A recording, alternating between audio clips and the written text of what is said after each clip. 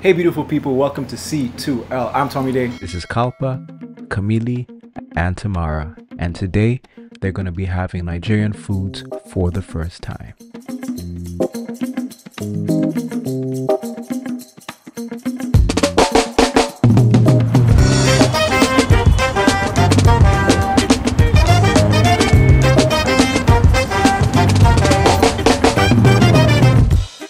Nigeria is just different, and so is the food. Its vast array of flavors and cuisines reflect the cultural richness, diversity, and essence of what it means to be a Nigerian. Living far from home, we often miss out on the authentic ingredients needed for traditional dishes, and this makes it hard to enjoy them frequently. But that's about to change. Today we're headed to Mombasa, a vibrant coastal city in Kenya, to explore a new Nigerian restaurant that promises to be a home away from home. We're teaming up with the amazing Kamili, aka Chaqula, a Mombasa based food creator whose approval is the closest thing to a Michelin star on the ground for street vendors and restaurants alike. We're also joined by Kamili's friend, Tamara, and together we'll all be trying out a wide array of dishes with an aim of traveling as close as we can to Nigeria without the need of an airplane.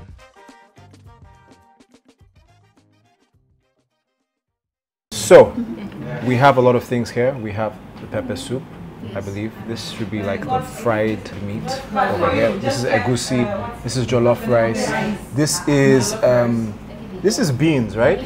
This is beans. Fantastic. This is stew. We have some pomo over here. I think there's shaki. It's just a mixture of stuff. This is rice and beans, and this should be some stew as well. So the goal is for you guys to try that out, right? So maybe we can start with what, what should we start with? Jollof rice. Yes, then followed by Perfect. this. Egusi this and and that. And then wh- when we take pepper soup at the end. or, yeah, yeah, yeah. Okay. Is there normally like an order when you eat? Like you have to eat this, then this, and or You just can anything. You can eat just anything. choose anything you want. But we'll start there. jollof rice. Everything is it's going down. sure it is. And she was right. It was definitely about to go down. So we decided to establish some ground rules. We'll be trying out everything presented and then afterwards list down our top dishes. First up is jollof rice with some plantains on the side. I'm curious to see if I can handle the chili.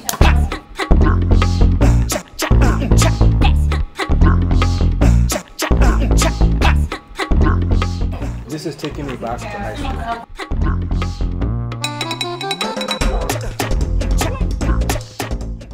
This is party jollof. Plantain. It has like a very smoky flavor, yeah. So in Nigeria for parties, it's usually like the most sought after jollof rice because they make it in like these big cuts and it's steamed. It's like it comes to the point where like it burns under and the smoke enters everything. Very interesting. As expected, jollof rice and plantain can do no wrong. It's soon time to go on to the next meal. Alright, so are we done with jollof rice? Mm-hmm. Next up, we'll be having rice and beans. This will be paired with a classic staple, beef stew. And Kamili soon asks a question only a Nigerian will be capable of answering. What's the base of Nigerian food? Base of Nigerian food, I like Right. yes, white food. Take it away. Take it away. Tomatoes, bell pepper, Okay. um, uh, habaneros, and sometimes onions. But then now let me ask you, what oil do you say? What oil? Palm oil. Palm oil. Yes, that's what we're great. Wow. Maybe. That's a wow right there. Love it. Yeah, for a reason. She's definitely a Nigerian. Kamili and Tamara soon try the pomo inside the stew.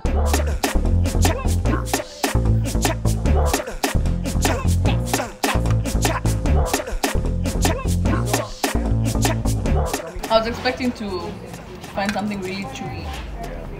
It's nice. It's. I feel like it's an acquired taste though.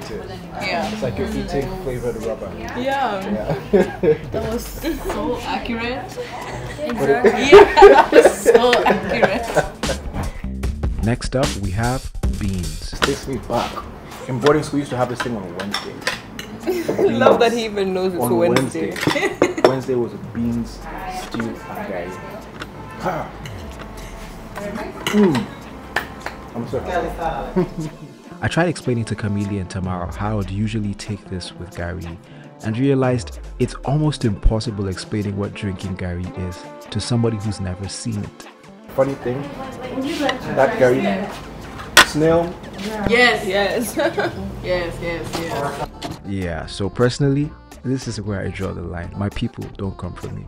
But since Camille and Tamara are down, this should be interesting. Until then, let's get back to explaining the wonder that gari is. We will try it. We You will try it. Don't worry about it. There's something that people do where you sprinkle the cassava, the gari itself, on top of your beans, mm. and you eat it like that. It's it's it's its own thing. Like you can't. There's nothing I can tell you is like gari. Mm. Even when you, even just how it's hard to visualize. Yeah. Clearly, because I probably just confused her even more. As this was all happening, my Nigerian Indian wife showed just how Nigerian she has become. Do you think they have moi moi? Moi moi. Wow. Wow. What's moi moi? Yeah. It's like a bean Moi moi. cake. Yeah, it's a bean cake. Oh. Yeah, what what um Desserts. what Ni- exactly what Nigerian desserts do you guys have? So we are not like in. let me first of all say question. in. We don't really Oh. have like desserts like that. I So feel like Indian that cuisine. be a dessert. No, Moi- No, it's, it's just it's not sweet. it's not sweet. It's a savory thing. It's a savory cake. What? Yeah. I think it's a. Confused. As I do my best to help Camille understand what moi moi is and how it's made, the snails are finally brought to the table.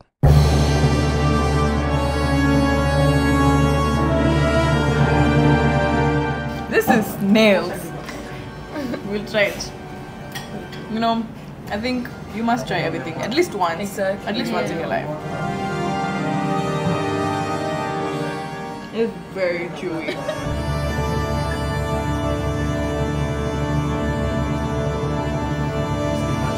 Mushroom. Wait, Oh. there's chili. No. Just when you're trying to get used to it. it hits you. I think the sauce is nice, like it's hot.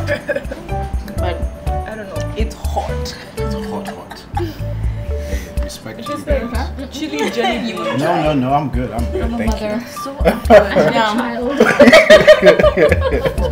There. I need to go back home.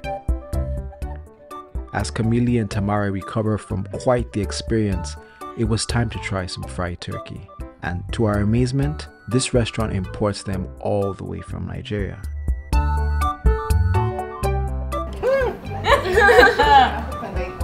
Mm. This is good. This is good.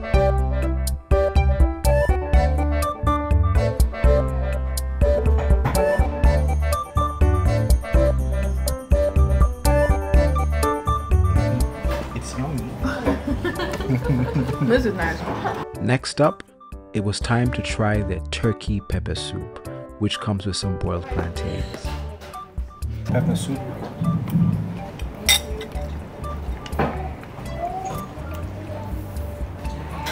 You've not started ratings, but I think this is the best thing that I've had. But from like a pepper soup point of view, knowing what pepper soup is, this is really well done. The plantain and the turkey, this is a good dish.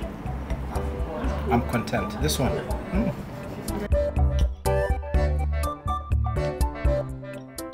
Last but not least, it's time to try one of the greatest dishes ever created egusi. You know me. I've been here before.